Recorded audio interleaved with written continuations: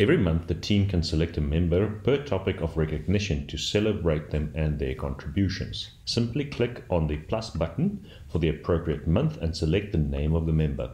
You are able to delete a selection or edit it as illustrated. To navigate to a different celebration topic, use the arrows or the drop down menu as illustrated.